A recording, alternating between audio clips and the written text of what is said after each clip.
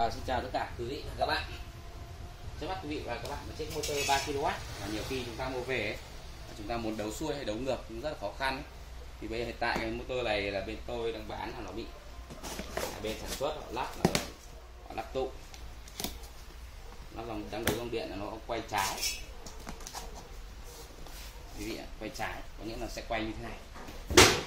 À, cái này thì khi chúng ta chạy chúng ta đang đang à, là quay như thế này thì bây giờ em sẽ hướng dẫn quý vị và bạn đấu lại. Tránh trường hợp quay trái rất là nguy hiểm này.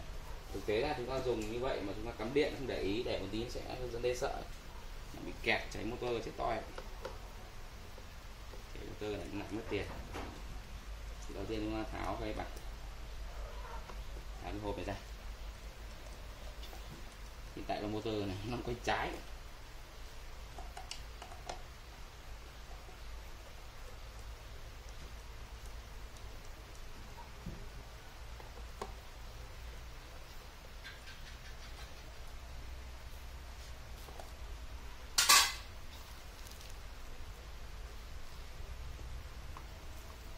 Đây ạ đang đấu như thế này. Đang đấu như này hai cái cái hai cái thanh à, thanh đồng nó đang như bị như này nó quay trái và chúng ta làm sao để cho nó nó quay phải thì cái việc này nó rất là đơn giản thôi. À, chúng ta sẽ tháo à. chúng ta sẽ tháo. Đây là hai cái điểm để đầu dây ấy. chúng ta lên tháo ra. Hai điểm đầu dây này chúng ta không bao giờ để trùng với thanh đồng. Nó mà trùng thanh đồng cắm vào phát nó lộ luôn đấy thì ở đây là chúng ta sẽ tháo à, chúng ta sẽ tháo ra và chúng ta bắt hai thành đồng này thành ngang như này. Nó đang nó dọc theo cái motor này chúng ta bắt thành ngang này nó sẽ quay phải đấy. Và quý vị lưu ý với em tí là chúng ta tháo ra. Nhưng đừng tháo hết nhé. Chúng ta sẽ tháo một, một lửa thôi. Chúng ta xoay. Hai con kia còn lại hai con em tháo hai con chéo nhau ấy còn hai con thì uh, chúng ta sẽ nới lỏng ra rồi chúng ta xoay. Nó sẽ à, nhanh hơn nó đỡ mất công hơn.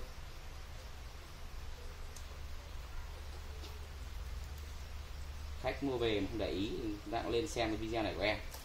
Để đấu cho chuẩn. Đấu mà lệch dùng không được kéo lại cháy.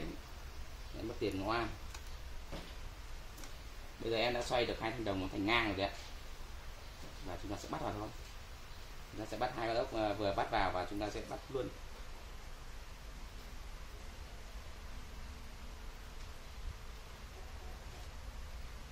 Nó cho nên là em quay lại mọi người có nhìn thấy mọi người cứ nghe cái lời em nói kỹ một chút. Đây em bật này. riêng con này các, các quý vị các bạn bắt chặt luôn con kia thế bắt chặt luôn. Và chúng ta còn lại một con này. Là hai cái thanh để đấu điện. Thì cũng vậy thôi chúng ta lại bắt vào. Thì con này chúng ta sẽ bắt lỏng và chúng ta đút cái đấu điện vào.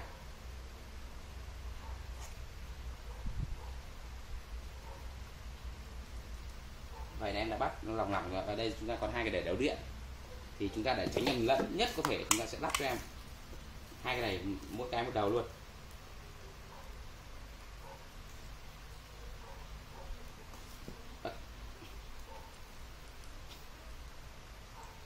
Chúng ta sẽ bắt hai cái này theo hai, đầu, hai cái đầu này luôn. Thì nó sẽ không ở bị nhầm theo cái trường hợp gọi là nhiều người không để ý là nó sẽ bị trùng nghĩa là hai cái này vào hai cọc của cái, hai cái lối vào đồng nó sẽ bị âm dương, nó chập là một. Cắm điện phát là lỗ, bục phát. Không cháy motor nhưng mà rất là nguy hiểm.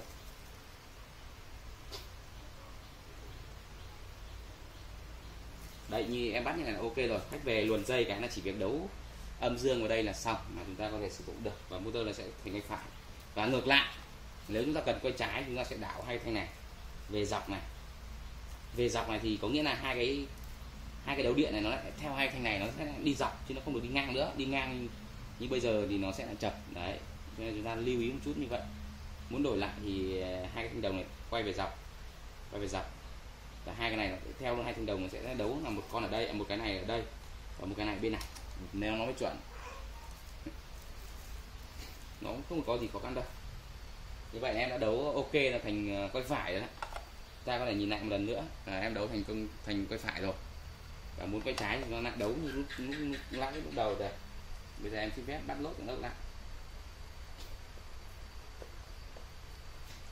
Thực ra quý vị và các bạn mua motor mà gặp cái trường hợp đấy có thể liên hệ với em. Anh em add zalo. Add zalo cái ờ, số trên màn hình. Để em tư vấn thực ra cái này nó dễ thôi. Mình không để ý là nguy hiểm phết đấy đấu nhầm đấu ngược là nguy hiểm lắm.